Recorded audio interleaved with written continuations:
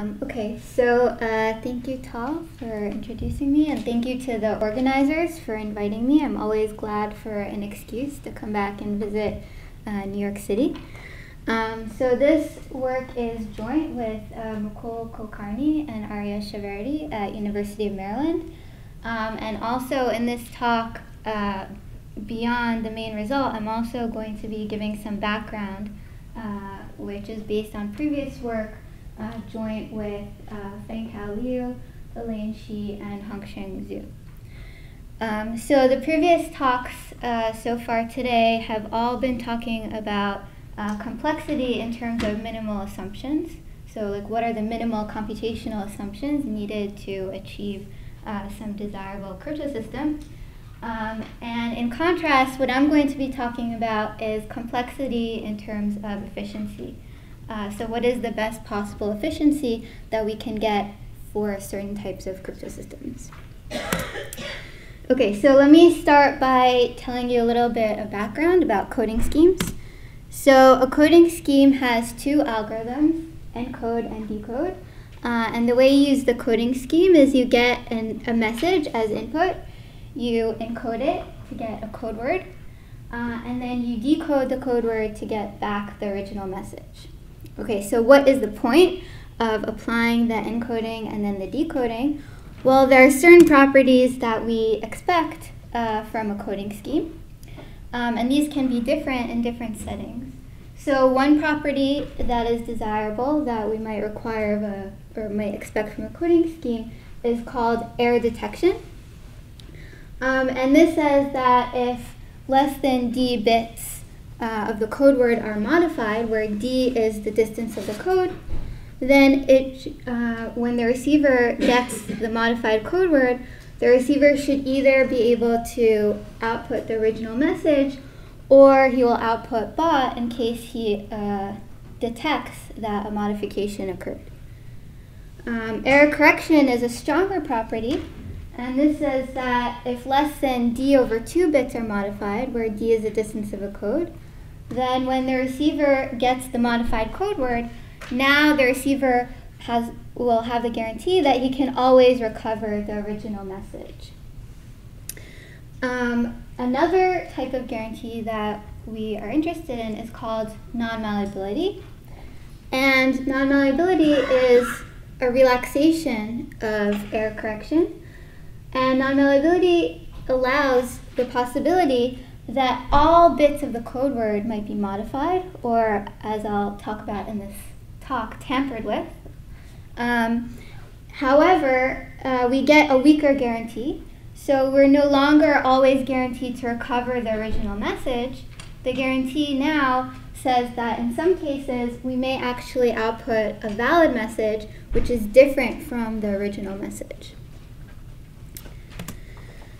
So non-malleable codes were introduced by Dziembowski, Pietrzak, and Wichs. Um, and they were originally proposed as a generic way of protecting a secret key which is stored in memory against tampering. And intuitively, the security guarantee that we get from non-malleable codes say that if an attacker tampers with the code word, when we decode the tamper code word, one of two things happens. Either the underlying message is unchanged, or the underlying message is changed, but it's unrelated to the original message. And it turns out that this type of security guarantee is enough to ensure privacy of a secret key, which is encoded using a non-malleable code. Okay, and of course, in order to achieve the security guarantee, we have to restrict the types of tampering that are allowed. So if you consider tampering uh, with any efficient function, so any tampering function in P, then it's very easy to show impossibility results that uh, tampering functions are impossible, that non-malleable codes are impossible for this class of tampering functions. And later in the talk, I'll talk about uh, specific classes of tampering functions for which we can actually construct non-malleable code. So this is a picture which shows what can happen when you have a non-malleable code. So you take your message M and you encode it. And now, uh, so tampering is illustrated by taking a hammer and uh, hammering this set of beads. Uh, and the non-malleable guarantee says that one of two things happen. So either the hammer is entirely missing the beads, in which case the underlying message is completely unchanged, or you manage to actually grind up the entire code word into something completely unrecognizable, and then when you decode, you're going to recover a completely unrelated message, uh, M prime. So another uh, concept that has been studied uh, is leakage resilient codes. Um, and in this case, we want to have the property that if you're given partial information about the code word, uh, this should not reveal any information about the underlying message which is being encoded. Okay, and so non-malleability plus leakage resilience, this gives us uh, security against side channel attacks which include tampering uh, and leakage. So uh, what is uh, the problem with non-malleable codes um, that we're trying to address uh, in the prior work? So essentially, non-malleable codes uh, work when you have, let's say, a short cryptographic key that you're trying to encode, um, but they are unsuitable for the setting of random access computation. So let's say you start out with a message M, which consists of n blocks. So say you have a database, for example, as your underlying message. And let's say you'd like to apply the non-malleable code to the entire database to protect it against tampering. So of course you can do this. You can simply apply the encoding scheme to the entire database. However, there's going to be a drawback to doing this. And the drawback is going to be that now in order to decode and recover a single block of the underlying message, so let's say a single row of the database, you're going to have to actually decode everything, decode the entire database, even if you just want to recover that one block. And additionally, if you want to update a single block of the original message, let's say a single row of the original database, Again, you're going to have to decode the entire database, the entire code word, modify the block that you want to modify, and then re-encode uh, the entire thing.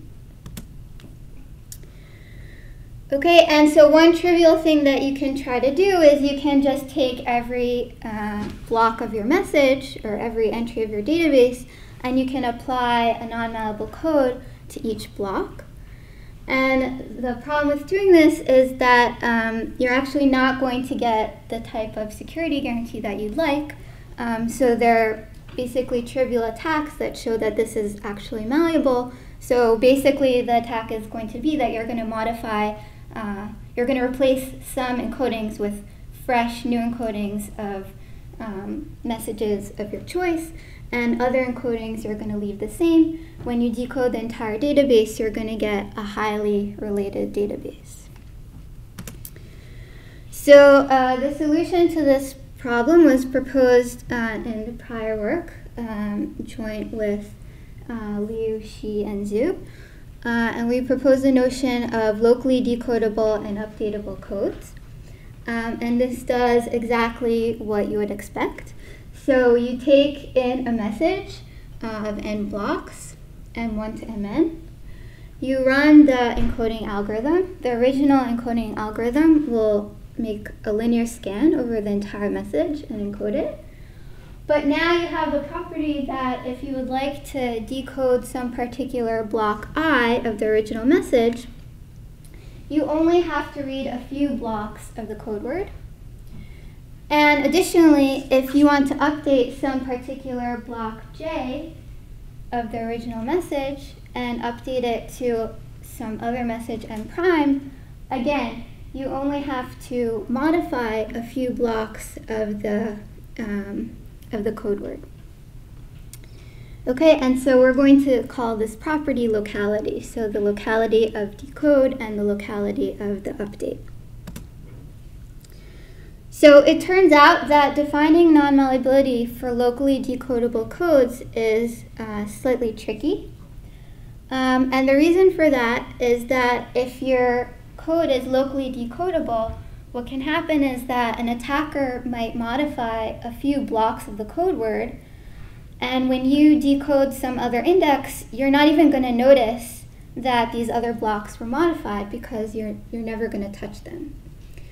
So, um, and it will turn out that when, when you decode the whole thing, these blocks that were touched might decode to invalid, um, and all the other blocks that are untouched will decode properly. And so our definition of non-malleability is exactly going to say that this is the only thing essentially that an attacker can do. So an attacker can destroy some blocks of the underlying message and leave other blocks the same, or the attacker can just essentially destroy the entire original message and replace it with a new unrelated message. Okay, so this is essentially what I was just saying. Okay, so uh, again, so the tampering function can only do one of two things. So you apply a tampering function to the entire code word, and now when you decode the modified code word, you're always going to be in one of two cases. So either the attacker managed to destroy some blocks of the underlying code word, getting them to decode to invalid, and leaving everything else the same, or the attacker managed to modify a block of the underlying message to some unrelated string, in which case the entire decoding of all the blocks should be decoding to some unrelated message. Okay, so putting it all together, our notion of locally decodable and updatable codes is going to achieve all the properties. So we achieve the modified uh, definition of non-malleability, we achieve uh, leakage resilience, and we achieve locality. Non-malleability against what? Like your function class cannot include update, for example, right? So right now I'm just talking about the notion. So right. I didn't mean, so yeah, so there's going to be some particular class of tampering functions for which you can achieve this definition. So if the class includes your update, then it's trivially malleable, right? Right, yeah.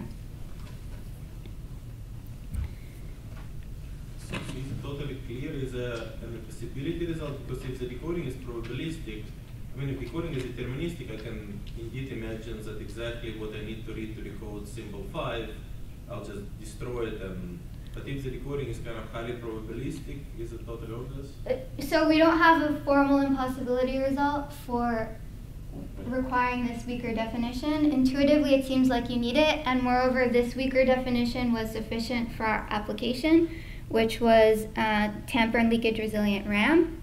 The reason it's sufficient for that is that if you're running a RAM program on the um, encoded memory, if you ever read a symbol which is bot, then you can just tell the RAM program to abort. And if you don't read a bot symbol, we have the guarantee that everything uh, will either be the same or unrelated. Dana, can you say something about the relation between this and the usual notion of locally decodable codes, which where updates are problematic? Um, I think this is the same notion of, um, so I am not completely familiar with uh, that area, but I think it's the same notion of locality, um, except we have. In terms of uh, like fault tolerance, right? So in the standard locally decodable code, you need that uh, so-called smoothness. That if I want to read the, the ith item, then uh, I read the few symbols of the code words which are kind of evenly distributed, and then there's a problem with doing updates because you need to. So, how, how does your uh, I mean, I'll get to our, I'll discuss the construction, I'm not sure. There is no fault tolerance, right? There is no distance requirement uh, at all, right? So, bottom is totally, you know, valid. The moment you detect something, So you're not attempting to, to recover from erasures right. or errors. You're saying right. You're right. right. Essentially. Okay. So this is very yeah. different from the other. Okay. So the main motivation for um, for introducing these codes was what I mentioned to get uh, tamper and leakage resilience in the RAM setting. Um, and basically, the construction is um, very simple. So we start with uh, an, an ORAM scheme. We use the ORAM scheme to um, set up the uh, memory. And then we use our uh, locally decodable and updatable non-malleable code to encode the entire memory on top of the uh, ORAM. And now, uh, whenever the uh, CPU is- issues um, a write request to some position j with some um, message m prime, then we simply are going to use the update algorithm from the locally decodable and updatable code. And whenever uh, we have a read instruction, we're simply going to use um, the decode uh, instruction from the coding scheme. Okay, um, and the reason why we need ORAM will be clear later, I think, when I present the formal security definition. But basically, the idea is that we're not hiding the access pattern. So the non-malleable code doesn't hide um, the access pattern. We'll see that uh, in a few slides. Okay, so now finally I can get to the previous work. Uh, so what actual classes of tampering functions can we uh, protect against? So um, in our prior work, uh, we showed a construction of leakage resilient, locally decodable, updatable, non-malleable codes with um, log n locality.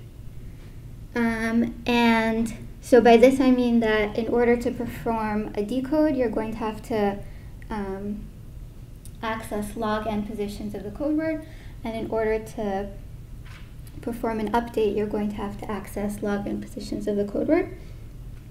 And the tampering functions that we allow are called split state uh, tampering and split state leakage. What this basically means is that the code word gets split into two parts, and you assume that the tampering and leakage are independent on the two parts of the code word. Um, and I should also mention that this works in the continual setting.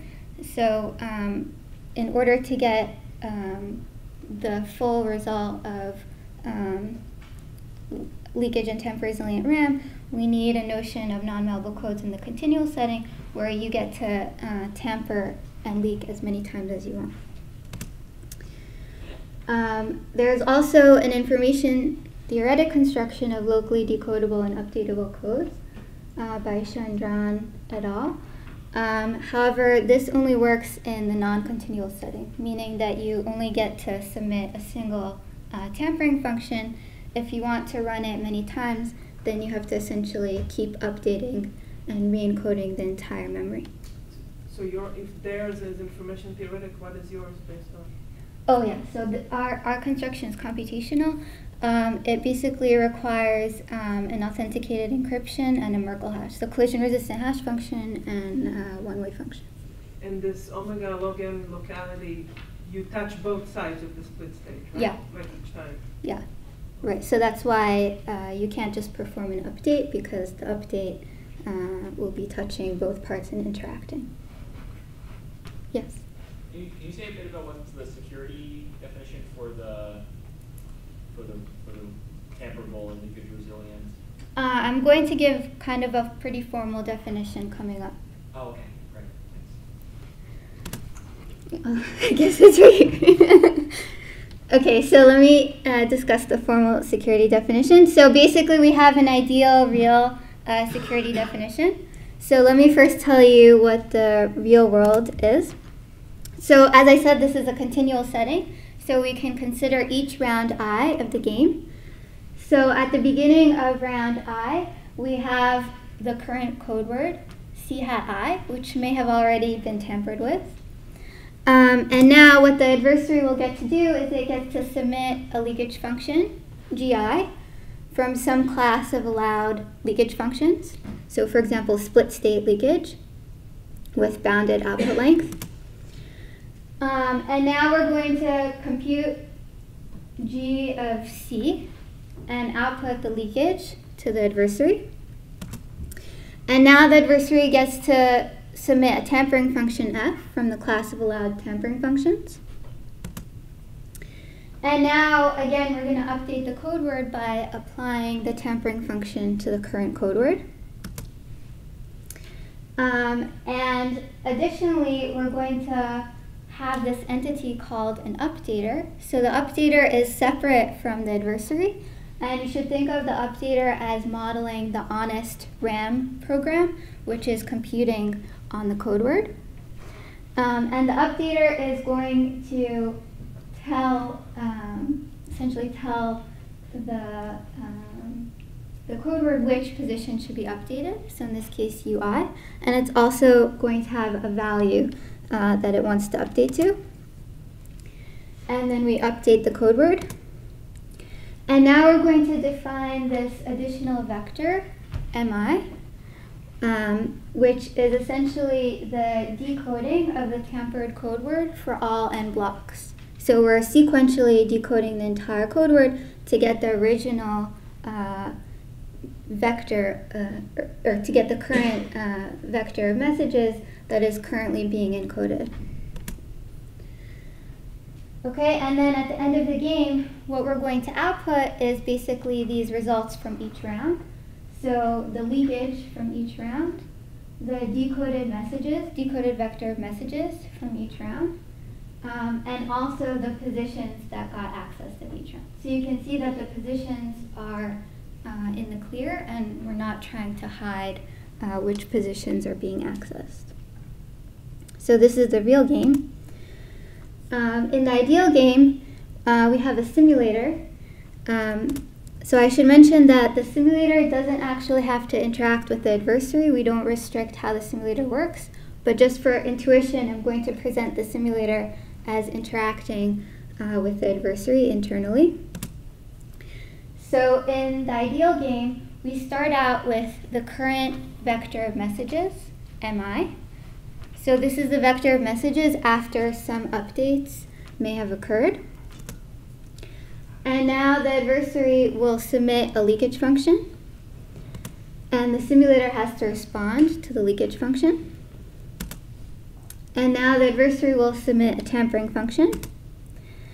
And now the simulator, remember in the previous game, we decoded the entire tampered code word to get a vector of messages. But this is somewhat unfair to require the simulator to do because the simulator doesn't know uh, the vector m of messages. So instead, what we're going to tell the simulator is to output a set i and a vector w. Um, and then the updater is going to, again, decide which position he wants to update. And we're going to update the underlying message according to this value. And note the simulator does not know the original message or the updated message. Okay, so now what do we output in this experiment? So we have to output a vector of messages. So how do we decide what to output? So basically, the simulator outputs a set i and a vector w. Uh, if i is equal to all indices from 1 to n, uh, then it means that, this is the bottom case, then it means that we output uh, the vector w as the vector of messages. And if the simulator outputs an i which is not equal to all indices from i to n, then for all the indices in i, we're going to output bot in that position. And for all the other indices, we're going to output the original message. Okay, and then the output at the end of the game is going to be all the leakage all these vectors m, where m is now defined as in the box, and all the positions u1 to ur.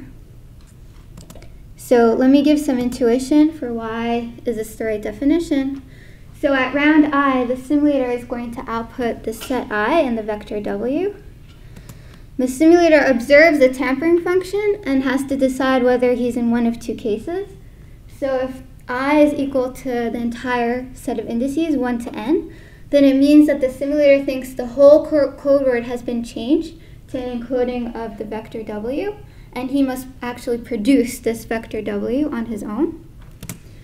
In the other case, the simulator thinks that only the positions in i were modified uh, to bot, and all other positions must remain the same. He has no choice but to output same for all the other positions. So here you don't insist on self-destruct. So you can go from bot to data. Yeah. Yeah. Okay. Yeah. Um, but when we combine it with the RAM program, in order for this to be sufficient, then we actually have the RAM program essentially abort if it reads if it reads a bot if it ever reads a bot symbol, it will end up aborting. Um, okay, and just to emphasize what same means, so same means it could mean the original message in that position, or if that position has been updated, then same means the most recently updated value in that position. Does the simulator get the values of the update values or not? No, no. Simulator does not get, um, he only gets UI, he does not get val i, and he does not get to see the original database. Okay, so one type of attack that I want to tell you about, it's very intuitive and it's kind of the right attack to think about in this setting, um, is called a rewind attack. So essentially, in a rewind attack, what the attacker is going to do is he's going to slowly leak some part of the code word corresponding to some specific underlying message block J. He's going to then wait, and he's going to hope that while he waits, the updater is going to update message block J into something new. So he's basically going to let the RAM program run uh, for a certain number of cycles. And then after he waits, he's going to write back what he leaked back into the same position. Okay, and so kind of what is the attacker's goal? The attacker's goal is that when he writes back the original values, his goal is that this block, when it is decoded, is going to decode to the original message in that block as opposed to the most recently updated message. Okay, and if the original message for that block gets decoded instead of the uh, most recently updated message, then the simulator can no longer just output same because same corresponds to the most recently updated message. So it means simulator would have to somehow output the value that was originally in that block. But simulator can't do that because the simulator doesn't know the original message. Okay, so this type of attack is going to actually break the definition of non-malleability. Okay, so it may seem that, from what I just said, it may seem that rewind attacks are kind of always possible. It seems like not clear how would you ever prevent a rewind attack from occurring. However, actually the previous uh, positive result, the construction that we had prior to this work, does prevent against rewind attack. And the intuition for why this is possible is note that the attacker can only leak a small amount in each round. And additionally, an update is also occurring uh, in each round. So the goal is going to be that when the attacker writes back the leakage, we should have that one of two cases occur. So either the information that the attacker writes back is now going to end up being inconsistent with the rest of the code word because updates have been occurring while he's been waiting off to the side.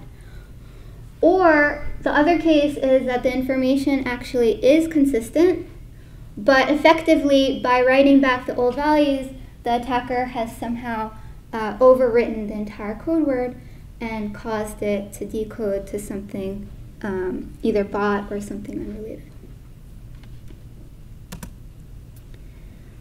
Okay, so I can finally uh, tell you what the results are. Um, so our uh, we have a lower bound and a matching upper bound. So the lower bound says that um, lambda is security parameter and pi is a locally decodable and updatable malleable code in a security model which allows for a rewind attack. Then if we restrict uh, to encoding messages of uh, length polynomial in the security parameter, then the uh, encoding scheme pi must have locality, which is at least omega 1. So the encoding scheme must have super constant locality. Okay, uh, and some caveat or some details about exactly which cases the lower bound covers. So uh, the lower bound holds for any polynomial block length. So remember that um, we get an input message which has n blocks, uh, and we output a code word which has uh, some other uh, n prime number of blocks. And the lower bound holds for any polynomial block length, polynomial insecurity parameter. Uh, however, uh, one restriction is that it requires that the access patterns for decoding and update are non-adaptive. So what I mean by non-adaptive is that when you decide which locations to access in order to decode or update a certain position i, the next location that you access should not depend on the contents of the previous locations that you accessed. The main result I'm going to talk about today is for deterministic access patterns. So that means that once I tell you the scheme pi, and once I tell you the message length n, the number of blocks in the original message, then you should know for every block i of the original message, you should be able to know which positions of the code word are going to be accessed for a decode and an update. It turns out that we can also extend our result to randomized access patterns. So this would mean that given the uh, scheme pi and the length n of the input and the random coins that decode and update are going to use, given these, you can determine uh, which positions of the code word are going to be accessed for decode and update. Okay, but this is still, not, it's randomized, but it's still non-adaptive. Okay, and in addition, the lower bound holds even if the attacker is only allowed to leak a single bit of information um, in each round. You're saying the security model which allows for a rewind attack. Right. Your security model does allow for rewind. Right. So, for example, um, the result, the prior result that I mentioned, which is in the split state model, this would allow for a rewind attack. Why? Because you can. The rewind attack just requires you to uh, be allowed to tamper in a way that replaces uh, the uh, information that you leaked, uh, rewrites it into the code word. So you can do this in a split state. You can leak some information and you can write it back. But there could potentially be classes of tampering functions which don't allow for you to write back the information that you leaked. So it's not the security model, it's what class of tampering function. Yeah, yeah. If it allows, if the class allows copying and rewriting, Right. then Right. Okay, and then we have uh, a matching upper bound. So uh, if lambda is security parameter, then there exists a locally decodable, updatable, non-malleable code pi uh, in a security model which allows for a rewind attack such that pi has locality delta n for any delta n in omega 1. So if you allow the locality to be anything that's super constant, then you can actually uh, achieve uh, a construction of a locally decodable and updatable code. Okay, and just to convince you that the uh, upper and lower bounds are actually matching, so the upper bound is going to actually require large block length, but it's still polynomial and security parameter. So lambda to the 1 plus epsilon, where epsilon is some small constant. Um, and in this construction, the access pattern, in our construction, the access patterns are actually uh, non-adaptive and deterministic. Um, and the construction allows for leakage of 1 minus epsilon times times chi bits. So chi is the block length, and you can leak uh, a constant fraction um, of the uh, block length, whereas in the lower bound, uh, it holds even if a single bit is leaked in each round.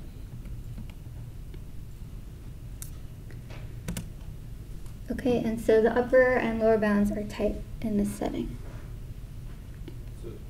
So does epsilon depend on delta sample? Uh, So what is the price? So No. You said orbiter. These are just con- these are just two constants. Uh, So what is the price? You said any superlinear locality, so if I make it like log star of n? yeah. So what is the price? I mean, just, uh, I'll just add it log star of n and no price. What is the trade-off? What do you mean? Uh, no, there's no trade-off. So basically, uh, you need you- you're gonna have a Merkle tree, Um, and the Merkle tree is going to have super constant depth because the number of leaves in the Merkle tree is n, and you don't know a priori, um, you know, for any depth that you set, you can pick an n which is larger than, uh, than that depth. Uh, so I think you'll see, so I'll talk about the, the construction, and I think you'll see uh, where it's coming in. Uh, okay, so let me talk about the tools for the lower bound, um, and then I will actually show you. So the lower bound is actually an explicit attack on any scheme with constant locality, um, as well as analysis of the attack. And then, as time permits, I'll quickly discuss the upper bound, which is very pretty simple, um, and then I'll talk about some conclusions. Okay, so the one of the main tools that we use in the lower bound is something called the sunflower lemma. So what is a sunflower? So a sunflower is a collection of sets such that the intersection of any pair is equal to the core. So in this example over here, uh, we have five sets, and each set includes the petal plus the core, and you can see that the pairwise intersection of any two sets is exactly uh, the core of the sunflower. Okay, so what is the, context? What is the, sun, the uh, set of sets in our, um, in our setting? So we have sets S1 to Sn. And Si is the set of code word blocks that are going to be accessed during decode or update of the ith message block. So it's the union of the blocks of the code word that are going to be accessed to decode and update the ith block of the message of the underlying message. And note that we're assuming that the size of each set Si is a constant C. So basically, what we're doing now is we're assuming that we have a locally decodable, updatable code with constant locality, and now, and then we're going to present an attack against it.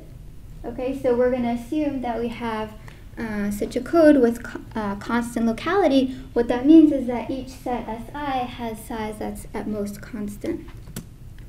So you assume deterministic decode update? So he is a temporal? For now, yeah, for the for what I'm going to show, assume assume that the locations are deterministic, yes. So if you tell me the description of your encoding scheme, and if you tell me the uh, input length of the number of blocks in your input message, then I know each of these sets, S1 to Sn. Okay? Um, and the size of each coder block, we're going to call that chi, as before. And this is some arbitrary uh, polynomial in lambda. And lambda is security parameter. So the celebrated sunflower lemma of Erdős and Rado says that if the number of sets, S1 to Sn, if the number n of these sets is greater than c factorial times k to the c, then this set of sets, sigma, must contain a sunflower of size k plus 1. Okay, so what we're going to do is we're going to look at the set of blocks of the code word that are accessed to decode each decode and update each location from 1 to n. And we're going to say that there must exist a subset of these sets which forms a sunflower. And how are we going to set these parameters? So what we're going to want is we're going to want to have a sunflower which has size greater than c times chi. So remember, c is the number of blocks that are accessed for decode and update. It's a constant. And chi is the size of each block. We'll see why we need this uh, in a minute. Okay, and what should we note? So since c is constant, so even though this expression here has like c factorial and k to the c, since c is constant, it turns out that uh, we can choose n polynomial in security parameter lambda and still be guaranteed that for this uh, choice of n, we're guaranteed to have a sunflower of size at least k. Okay, so the second tool that we're going to need um, is a defining a compression function. So given a sunflower, so these are the sets, this is a subset of sigma that forms a sunflower. So for example, what this means is that the positions of the code word access to decode and update positions I0, I1, dot, dot, dot, IK form a sunflower. Uh, so we're given a sunflower and we're given some code word, C hat. And now we're going to define a compression function. So the compression function is going to take as input uh, a vector of k inputs, where each position in the vector is either 0, 1, or same. And it's going to output something of length c times chi bits. So what is the compression function doing? So uh, essentially what it's going to do is it's going to take the values of x1 to xk as instructions of whether or not to update the corresponding block of the underlying message, and if yes, what to update the corresponding block to. So basically, the compression function is just going to uh, consist of a loop for i equals 1 to k. It's going to loop through all the inputs. Uh, if xj is not equal to same, then it's going to run the updated update procedure on code word c hat with uh, position ij and uh, value xj.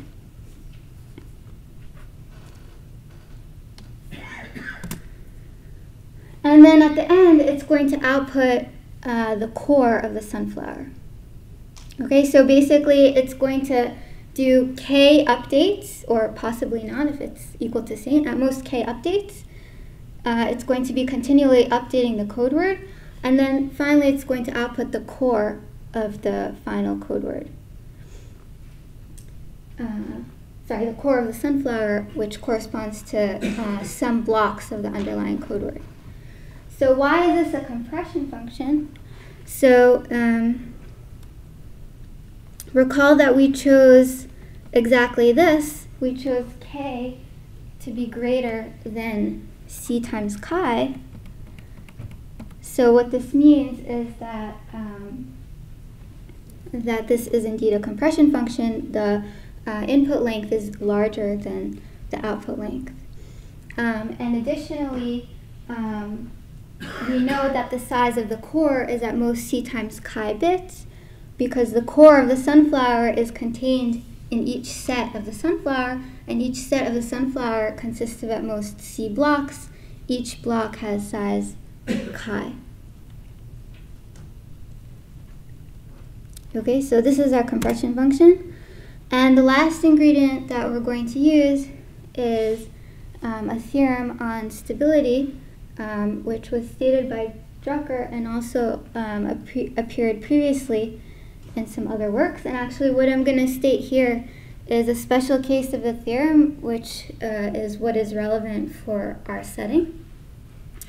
So basically, it says that if we have a compression function, which is a randomized mapping, uh, and we have independent variables, x1 to xk, then with high probability, if we choose at random one of the input variables to fix, so in this example, I chose uh, xi to fix to same, then the output distributions are statistically close when I run the compression function on x1 to xk chosen independently and uniform at random, and when I run the compression function on everything chosen uniformly at random except for the ith position, uh, which is set to same.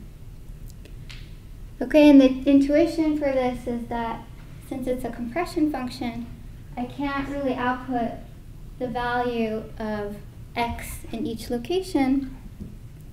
And so there are some locations that I won't really notice a change in the output uh, if the input uh, is getting fixed. How is I quantified? Um, so I is chosen at random from the set uh, 1 to k. Yeah. Yeah. Do you need to assume that same has has um, at least some non-negligible probability? Yeah, yeah, yeah. Oh, sorry. Uh, so I'm assuming there's one third probability on zero, one third probability on Oh, one, okay. and one third probability on the same. Thanks. Yeah.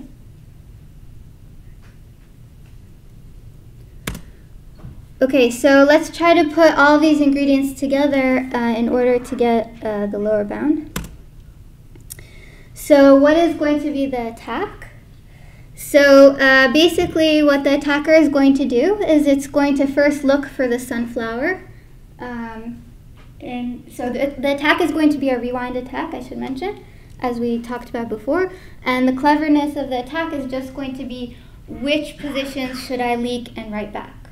Okay, everything else, um, it's just a regular re- rewind attack. So how does the attacker going to decide which positions to leak and write back? So he's going to first look for the sunflower. That's uh, guaranteed to be contained in the sets S1 to Sn. And he can uh, do this efficiently. Uh, then he's going to choose a random index, j. And j is going to be uh, the position that he's going to leak information on. So he's going to uh, leak information about the uh, corresponding uh, blocks of the code word that are used to decode position ij, decode and update position ij. And what is he going to leak? He's going to leak the petal corresponding to the set uh, Sij. So he's only going to leak the, the petal, he's going to leave the core intact. Okay, and I'm going to call the leakage that he receives back is going to be called L. Now the attacker is going to sit back and he's going to wait until the K plus first round. Uh, and in the k plus first round, he's simply going to choose the following tampering function. The tampering function is just going to replace the current contents of the petal with the original contents of that petal. So the petal corresponding to the set Sij. Okay, so this is just a rewind attack. And now what is the updater going to do? Well, the updater is just going to do essentially what the compression function was doing on the previous slides. So the updater is going to choose values x1 to xk at random from 0, 1, the same. And in round j, he's going to decide, uh, based on the value of xi, whether or not to request an update on position ij, and if yes, whether to update to 0 or to 1. Okay, and I am presenting a simplified version of the attack, so um, a small modification is needed if you want to only leak uh, one bit per round. So the way I presented it now, he leaks the entire contents of the uh, petals uh, in the first round, uh, but he can also be modified to leak uh, only a single bit in each round. It's easy to find the sunflower? Yeah, so he can just find the pairwise intersection of all the sets, S1 to Sn, and then he can choose the one that occurs the most frequently. Okay, so sorry. So he's going to leak the ijth petal and then replace the ijth petal. Okay, so the analysis is based um, on the following lemma. So um, we can show that for the attack and updater that we specified above, uh, we have two cases depending on whether the original message was the all zero vector or the all one vector. So if the original message was the all zero vector, then we have that with probability at least 0.7, the decoding of position ij in round k plus 1 is going to be 0 in the real game. And on the flip side, if the original message was 1, then with probability at least 0.7, the decoding of position ij in round k plus 1 is 1 in the real game. Okay, so remember, this is the decoding after tampering. So the attacker leaked, he wrote back, and then he waited for decode to happen. If the original message was 0, then with probability 0.7, he's going to get a 0. If the original message was 1, with probability 0.7, he'll get a 1. Okay, so why is this uh, enough to show, to contradict non-malleability? So essentially, what can the simulator do? So simulator either outputs same or he outputs one of 0, 1, or bot. Okay, but let's say the simulator always outputs same. So if the original message was 0, and he always outputs same, then 0 is going to be outputted with probability 2 thirds. Why is that? Because with probability 1 third, there was no update in that position. And with probability um, another one third, there was an update in that position and it got updated back to zero. Okay, and similarly, if you just output same in the case that the original message was one, it will output one with probability two thirds. so what this means is that the simulator cannot always output same. And when he does not output same, he has to be outputting zero with higher probability if the original message was 0, and he has to be outputting 1 with higher probability if the original message was 1. But this is impossible because the simulator does not know the original message. So he would not know whether he's in case 1 or case 2. Okay, so let me talk briefly about uh, proving the lemma. So um, the decoding of position ij in the k plus first round, so this is after tampering has occurred, uh, is going to consist of L. So L is the value that was leaked and written back. So this is what's contained in the petal uh, of the sunflower set. And it's also going to consist of whatever is contained in the core. Okay? So the positions that are accessed during uh, decode of the ijth position are the union of the positions in the core and the positions in the petal. Okay, so this is going to be the view of the decode algorithm. So now we can just do a simple hybrid argument. So first we're going to consider what happens when we run the decode algorithm if the jth position happened to be equal to same. So remember, if the jth position is equal to same, it means that no update occurred to uh, the jth petal of the sunflower. So it means that the attacker is just uh, writing back um, the contents of that petal. Okay? And we know that um, in this case, if the jth position is equal to same, we know that the output of decode must be equal to zero if the original message was zero. So how do we know this? Well, note that none of the other updates to any of the other k blocks are going to be touching the jth petal because they're disjoint. So what it means is that when I ran the update for all these positions, they didn't modify anything in the jth petal. And so now writing back the original contents of the jth petal is not changing anything.